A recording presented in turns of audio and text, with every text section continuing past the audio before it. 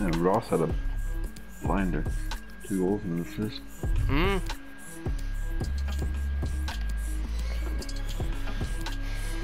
Uh, nice. The, well. nice. Yeah, the nice the, the the front the front chemistry at the front starting to like like killer shit starting to come on.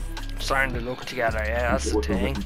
what- Well, the nice thing was that between both both forwards got a goal. Hmm. Oh yeah, big time. Ross had an assist. I got an assist. Oh, yeah.